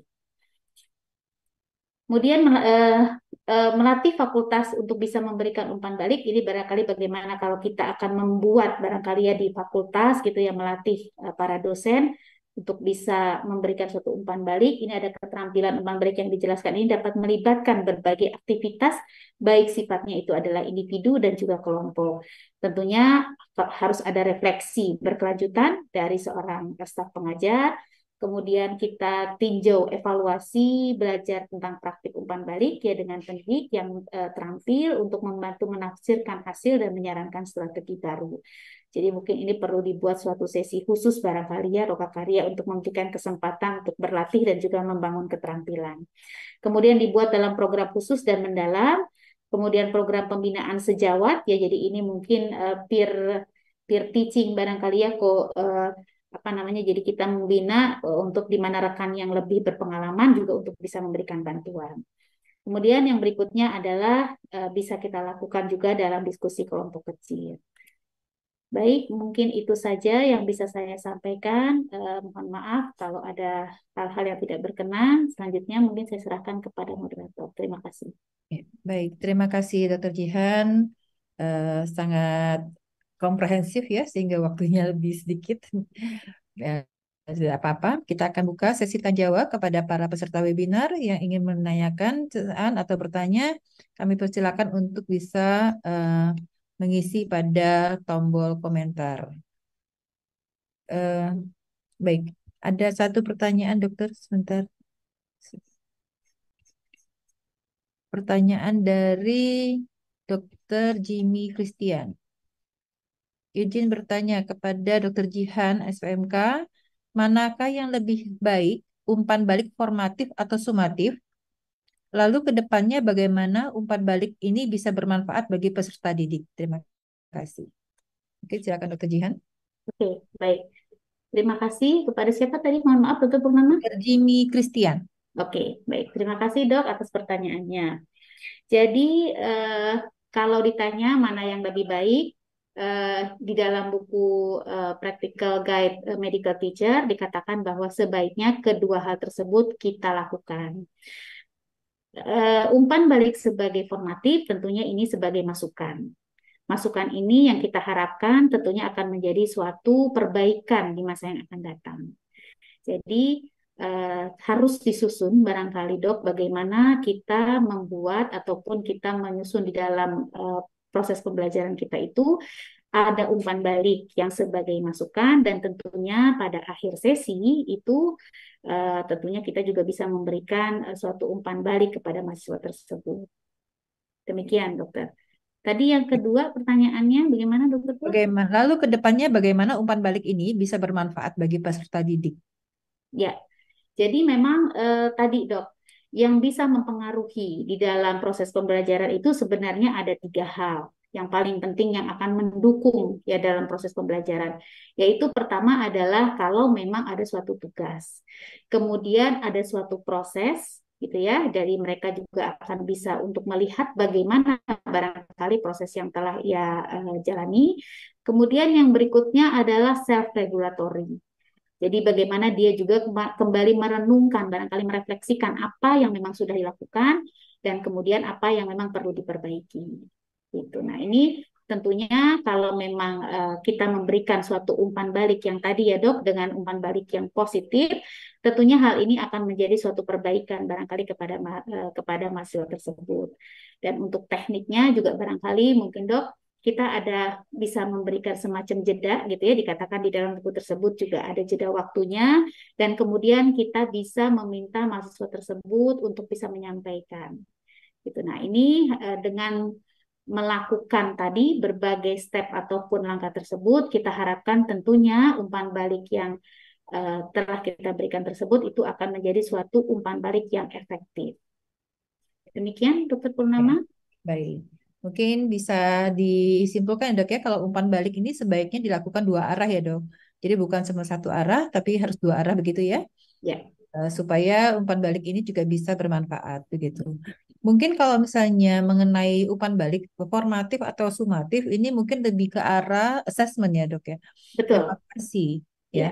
Kalau namanya umpan balik itu biasanya selalu formatif ya. Ya dinilai Tetapi, Iya betul. Karena umpan balik yang di akhir dokter Pur itu sebagai suatu evaluasi. Ya. Namanya sebagai suatu evaluasi. Evaluasi ya, atau assessmentnya untuk sumatif. Jadi artinya kita membedakan antara formatif dan sumatif. Kalau formatif itu biasanya adalah untuk perbaikan gitu ya. Jadi mereka tahu salahnya di mana sehingga ada kesempatan untuk memperbaiki diri. Sedangkan sumatif itu biasanya dipakai untuk menentukan eh, lulus atau tidak lulus ataupun juga kompetensinya tercapai atau tidak tercapai seperti itu mungkin ya. Ya. Eh, masih adakah pertanyaan lainnya? Mungkin oh ini ada satu mungkin dan kalau tidak ada yang tanya Dokter Revalita mungkin ya dari sekian banyak peran dosen tadi ada 12 roles uh, of medical teacher gitu ya. Menurut dokter kira-kira manakah peran yang paling berpengaruh dok untuk mahasiswa dalam pencapaian kompetensi mereka sebagai dokter? Uh, terima kasih Dokter Pur. Ya, jadi kalau ditanya mana yang paling baik ya dok ya, uh, yang paling berperan dok. Yang paling berperan ya dok ya. Uh, pastinya tidak hanya satu ya dok ya. Jadi seluruhnya ini kalau kita lihat tadi uh, digambarkan dalam satu bentuk lingkaran ya dok ya. Jadi kalau satu lingkaran itu tidak mungkin diambil yang mana yang paling berperan itu tidak uh, seluruhnya berperan dok. Tetapi yang terpenting adalah um, bagaimana kita berkomitmen gitu ya dok ya berkomitmen untuk melakukan eh, peran-peran yang tadi kalau tadi ada provider information provider lalu ada yang tadi ya sebagai mungkin terkait dengan umpan balik tadi ada sebagai assessor and diagnostician. Ya itu semua akan berperan peran tadi itu akan berperan pada waktu-waktu yang uh, memang telah disusun ya dok ya. Sehingga kalau ditanya mana yang berperan uh, secara dominan itu tidak ada gitu. Memang semuanya saling ter keterkaitan gitu dok. Di uh, seperti dari mulai perencanaan ya dok kalau kali kita lihat lagi peran dosen dalam pembelajaran tadi kan tidak hanya dalam tahap uh, evaluasinya saja, tidak hanya tahap memberikan penilaian, tetapi tahapannya itu dari mulai perencanaan, pelaksanaannya ya, lalu melakukan evaluasi ya dok ya, dan terlebih lagi tadi terkait dengan uh, reflektif tapi reflektif yang terkait dengan dosennya gitu ya dok ya. Nah itu semua peran itu akan uh, sama pentingnya begitu dokter Purnama dalam pendidikan kedokteran. Jadi uh, akan saling terkaitan. Jadi kalau misalnya dalam bentuk lingkaran ya dok, kita kan nggak bisa ambil satu ya dok ya. Kalau satu pasti akan ya akan akan kurang gitu ya dok. Jadi memang semuanya saling keterkaitan. Tapi kembali lagi uh, peran itu harus dilakukan dengan komitmen. Dan suaranya menghilang sedikit. ya, keterkaitan dengan uh, ya tadi sesuai dengan Uh, ya. semuanya itu akan saling berkaitan. Lagi dok, saya tertarik tadi dokter mengatakan bahwa salah satu peran itu adalah sebagai sumber informasi gitu ya, ya information betul. provider.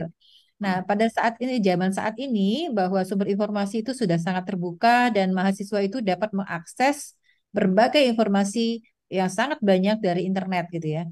Nah apakah peran dosen sebagai information provider itu sekarang masih relevan atau tidak dok? Terima kasih Dokter Pur. Jadi uh, tadi dok ya terkait dengan information provider. Kalau kita lihat memang kan ya dok yang teacher tradisional ya.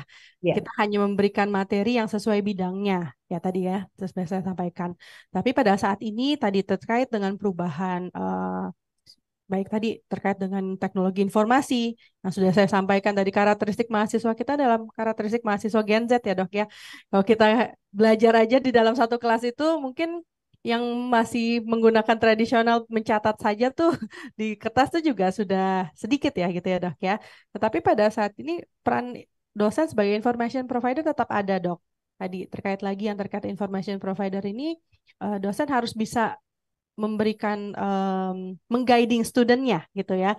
Kalau tadi dia bisa cari internet dari mana bahan informasi dari apa pun saja dok ya dari Wikipedia. Tapi kan kembali lagi kita harus mengguiding mahasiswa itu untuk mencari informasi yang dengan sumber yang jelas. Jadi kita sebagai provi uh, information provider harus mengguiding akses yang untuk terkait dengan pengajaran atau pendidikan kedokteran itu mana yang dipercaya mana yang dapat dipercaya dok. Jadi peran kita sebagai information provider uh, salah satunya uh, terkait tadi yang dokter sampaikan adalah di situ mengguiding gitu dengan mencari informasi itu dari mana sumbernya lalu memfilter ya dok ya bahasanya adalah dari Harden dikatakan sebagai kurator jadi informasi apa yang akan kita sampaikan pun juga kita harus filter dan harus bisa diakses oleh mahasiswa dan mengguiding mereka bagaimana cara mendapatkan informasi yang uh, telah disampaikan itu dari sumber-sumber yang terpercaya.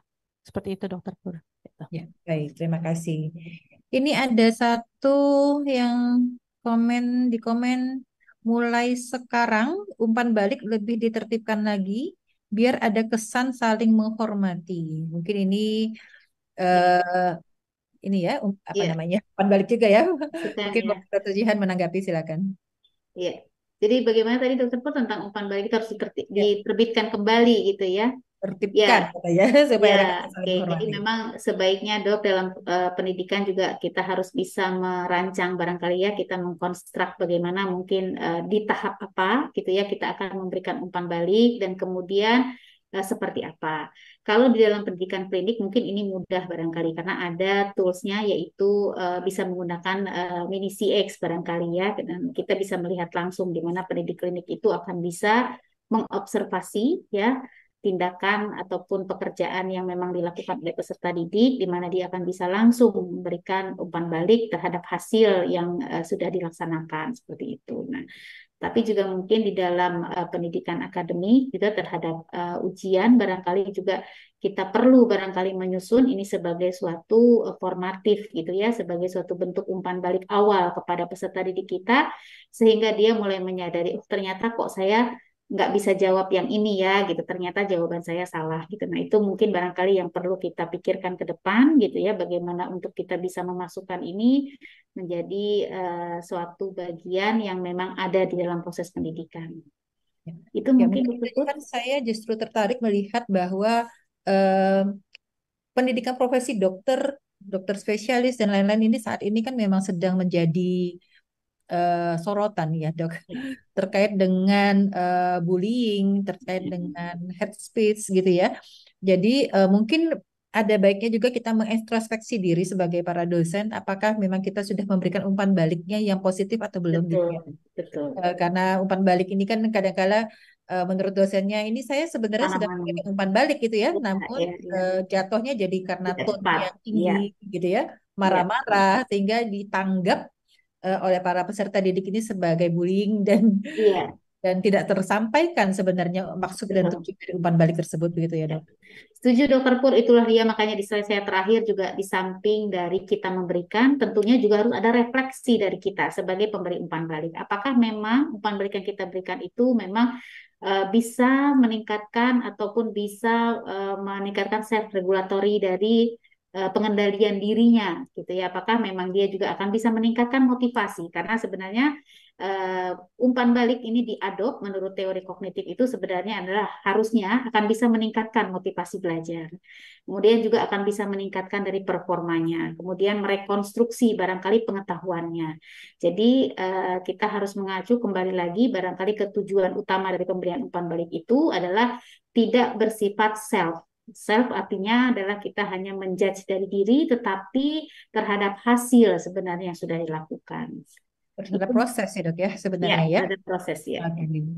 Mungkin terakhir dok, uh, sebelum kita tutup ya, mungkin ada proses pembelajaran di Mungkin dokter Revalita mau menambahkan ya? Oh ya, dokter Revalita dok ya terkait dengan uh, peran dosen ya, role model ya dok ya. ya. Jadi kalau tadi kita misalnya sebagai pengajar memberikan umpan balik yang uh, marah-marah ya dok ya Mas Tadek ya memberikan umpan balik dengan cara yang mungkin uh, kalau kita sebagai dosen dilah, diperlakukan seperti itu juga kita tidak mau ya dok kita ya. Jadi nah sebagai role model um, as a teacher gitu jadi kita harus bisa juga memberikan umpan balik yang tadi konstruktif dok. Mungkin um, ada metode satu ya dok ya untuk memberikan umpan balik itu ada metode sandwich ya dok ya kalau dengarnya juga udah enak ya kan dok ya, kalau ada sandwich ya dok ya. Jadi kita mungkin beritahu dulu, uh, kalau sebagai uh, peserta didik pasti tidak seluruh, tidak melulu yang kita lihat hanya kekurangannya kan dok ya. Jadi sebagai diagnostician kita melihat, oh ini ada kelebihannya di mana gitu. Kalau dia melakukan suatu keterampilan, ya kalau memang sudah cukup baik ya kita harus memberikan apresiasi kepada peserta didik tersebut. Jadi kita berikan dulu yang uh, kelebihannya, dari apa yang mereka lakukan ya baik terkait tadi sikapnya, pengetahuan ya kalau memang uh, kenyataannya itu sudah cukup baik kita apresiasi. Lalu mungkin yang di tengah uh, kalau sandwich kan roti di tengahnya ada dagingnya ya dok ya. Terus ada sayurnya. Kalau kita nggak suka sayurnya ya kita kasih ya mungkin dikasih tahu nanti berikutnya mungkin sayurnya terlalu banyak dikurangi gitu ya dok ya. Begitu juga kita mengadop kepada uh, peserta didik kita lihat kekurangannya uh, oh ini loh dek, mungkin kamu tadi ada kekurangan ketika melakukan anamnesis, contohnya ada ini contoh saja, melakukan anamnesis tadi lupa menanyakan terkait dengan riwayat uh, jika memang settingnya anak ya, riwayat tumbuh kembang ya dok ya, jadi kita beritahukan spesifik gitu, mana yang kurang gitu kan, sehingga nanti ketika penutup, nah kalau di sandwich tadi ada roti paling bawah ya dok ya. Kita kasih tahu oh, nanti perbaikin. Diperbaikinya adalah tadi terkait, dengan anamnesis apa saja yang harus diperbaiki. Sehingga ketika mereka melakukan satu oh menyadari uh, refleksi ya oh ternyata saya kelebihannya di sini itu saya harus saya tingkatkan. Lalu kekurangannya apa itu yang tadi menjadi kekurangan uh, saya itu yang harus diperbaiki. Nah, pada akhirnya nanti kan ada suatu perubahan dalam proses pembelajaran itu targetnya adalah perubahan tadi jadi terkait sikap pengetahuan dan keterampilan. Nah itu dok. Mungkin terkait dengan role model tadi jika kita memberikan contoh yang baik harapannya itu akan dilakukan juga pada peserta uh, didik kita nantinya. Oke. Gitu. terima kasih dokter Revalita dokter Jihan. Uh, kita sampai pada penghujung acara. Mungkin dokter Revalita bisa memberikan sedikit take home message-nya mungkin dari dokter Revalita? Ya dok. Tadi di slide terakhir saya juga saya sampaikan apakah kita sudah are we a good teacher gitu ya dok ya. Jadi bagaimana nanti kita mau memperlakukan mahasiswa. Kita tanya dulu, kita lakukan refleksi. Kita tidak hanya menuntut sebagai seorang pengajar, uh, kita tidak hanya menuntut mahasiswa yang harus melakukan tadi perubahan-perubahan, tetapi kita lihat dulu apakah dari kita sebagai pengajar ini ada yang perlu diperbaiki, mampu menerima umpan balik juga tidak dari mahasiswa, sehingga dengan menyadari tadi uh, peran yang kita lakukan, pastinya uh, harapannya nanti proses pembelajaran pengajaran yang kita lakukan akan berlangsung dengan baik gitu dok. Sesuai juga menghasilkan lulusan dalam hal ini di pendidikan kedokteran menghasilkan dokter yang uh, kompeten seperti itu dokter. Mungkin closing statement. Oke, terima kasih dokter Evalita. Saya berikan kesempatan dokter Jihan. Oke baik terima kasih dokter Pur. Jadi uh, dari saya adalah agar suatu umpan balik itu menjadi suatu umpan balik yang efektif untuk bisa mendorong suatu pembelajaran, maka umpan balik itu harus menjawab tiga pertanyaan penting, yaitu yang pertama mengenai tujuan yang ingin dicapai, kemudian juga perbandingan dari kualitas performa saat ini dengan performa yang memang kita harapkan, dan kemudian juga serta petunjuk untuk pembelajaran barangkali selanjutnya. Jadi ini perbaikan untuk ke depannya. Kemudian sebagai seorang dosen ataupun sebagai seorang pembimbing klinik, barangkali kita perlu memahami peran pembelajar ya dalam menerima dan juga memproses suatu umpan balik serta adanya suatu budaya barangkali di dalam lingkungan uh, pendidikan kita untuk bisa memfasilitasi gitu ya dan juga menghambat adanya pertukaran uh, apa namanya umpan balik di dalam pendidikan. Mungkin itu saja barangkali Dokter Pur dari saya. Terima kasih. Ya, baik. Baiklah sampai akhirnya para peserta webinar yang kami hormati, saya akan memberikan sedikit uh, take home message-nya saya simpulkan dari kedua pembicara kita pada hari ini yaitu bahwa dokter itu juga adalah seorang guru. Jadi dia bisa memberikan perannya memberikan edukasi pada pasien maupun juga kepada mahasiswa. Ada perubahan paradigma pendidikan dari tadinya teacher center menjadi student center. Peran dosen itu ada banyak sekali, namun menjadi role model bagi mahasiswa itu adalah sangat penting dalam membentuk profesionalisme seorang dokter. Jadi pemberi pendidik harus mampu memberikan umpan balik yang spesifik, individual, harus bersifat konstruktif supaya mahasiswa dapat mengetahui kelemahan dan kekuatan yang dimiliki sehingga dapat meningkatkan performa mereka. Terakhir, umpan balik ini dalam pemberian umpan balik itu kita perlu juga melihat metode mungkin bisa dilakukan dengan metode sandwich method ya. Pemberian umpan balik perlu diperhatikan body language-nya, tone of voice-nya dan juga perlu adanya self regulation. Mungkin itu saja kesimpulan yang bisa saya ambil pada hari ini. Semoga dapat bermanfaat buat kita semua. Selamat siang, terima kasih. Terima kasih.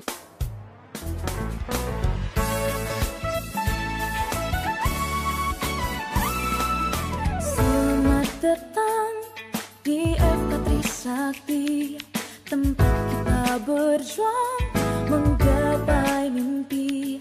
Jatuh bangun tetap berdiri kembali Tanpa kejar mimpi.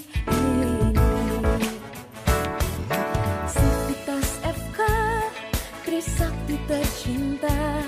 Sahabat keluarga dan rumah Ciptakan karya dalam sinergi Bersama taklukkan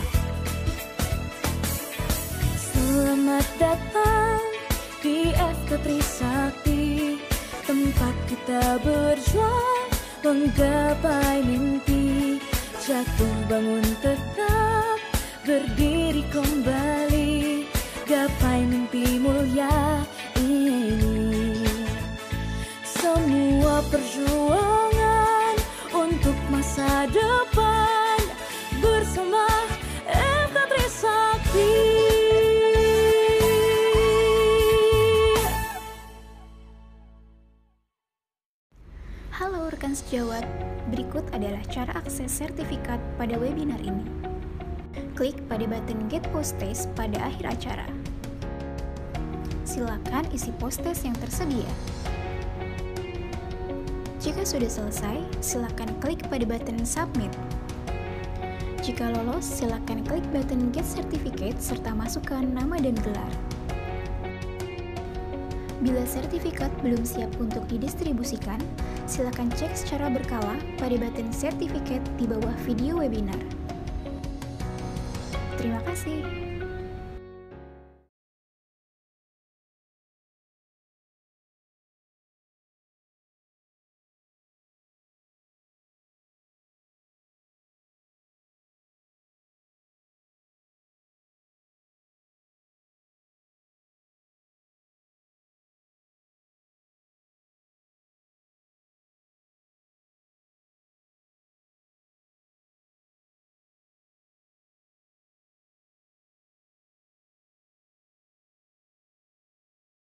Thank you, Syah. Boleh langsung di end aja uh, Zoom-nya.